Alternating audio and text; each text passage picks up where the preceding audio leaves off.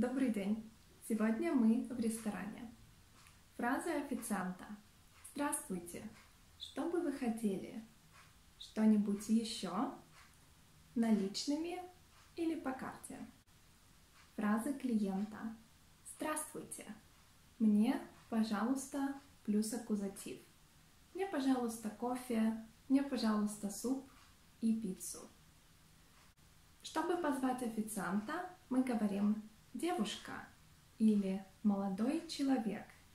Можно счет, пожалуйста. Спасибо. До свидания.